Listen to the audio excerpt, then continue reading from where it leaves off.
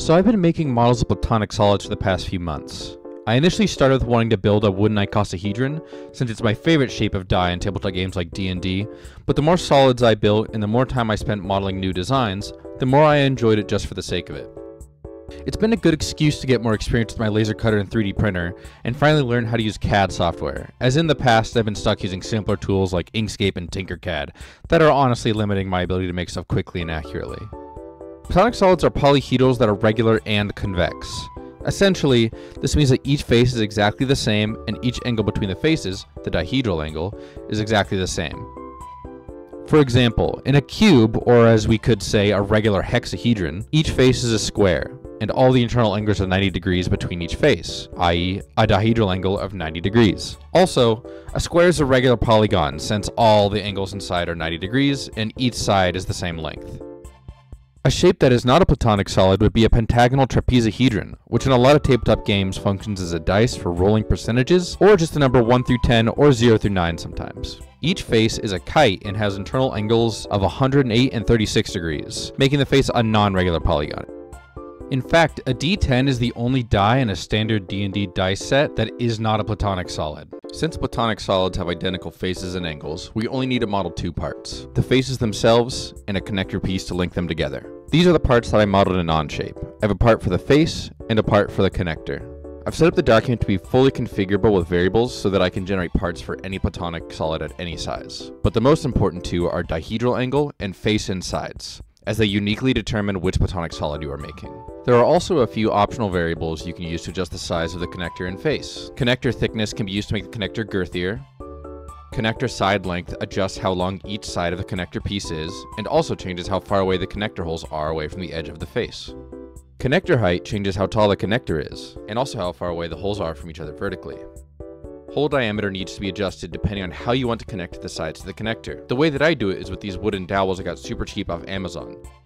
Screws would work and pretend to be more convenient for a sturdier build, but I personally like the way the built shape looks when it's all wood. Face side length can be used to change how long each of the sides of the face is. Bigger side length will always equal a bigger polyhedral.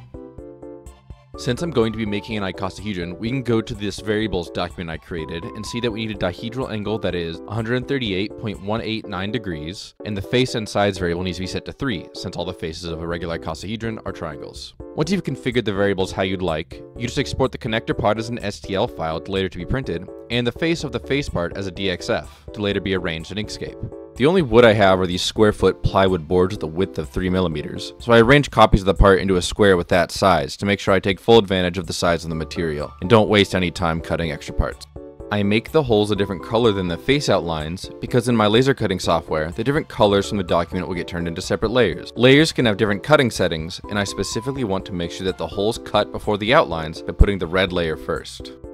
Typically, printing all the connectors for the sides is the longest part. For an icosahedron, it has 30 edges, so we have to print 30 of the side connectors. That means it takes around 6 to 8 hours to print all of them. Cutting is significantly faster, but this time I messed up when securing the wood and it shifted during a cut. The next cuts went perfectly fine. Now that I've got all the parts prepared, I need to do a little bit of cleanup on the face parts since they have residue from cutting and some splintering. I alluded to it before, but the basic process for assembly is just taking these wood dowels, pushing it through the hole in the face part into the connector part, and gluing the other side and clipping off the excess material.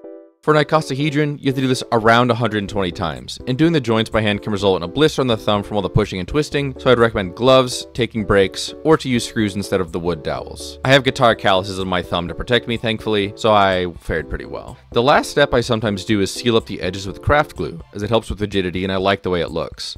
I even tried varnishing one of my other solids with the glue, but it doesn't look great and I should probably just try some normal varnish. This is my final build. I'm going to leave this one plain because I like the way it looks, but for many of the other ones I've built this way, I've used my laser cutter to cut felt designs for decoration. I've got this dodecahedron commissioned by a friend who really likes Magic the Gathering, Doom, and Ori and the Blind Forest. Now before I finish the video, I wanted to mention the other method I use for making polyhedrals. It's much simpler than the previous method, so I felt like it only deserved a short segment. Instead of making connectors for the faces, we can instead model connectors for the vertices and use the same wooden dowels I used earlier to connect them as edges. If you don't have a laser cutter, but do have a 3D printer, this is a pretty easy way to build a polyhedral. The only downside is that it's a bit harder to decorate, but I still love the way it looks.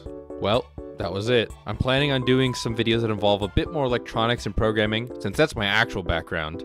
But building polyhedrals has been my hyper focus, so I hope you found it interesting as well. If you liked the video, go eat a hot dog.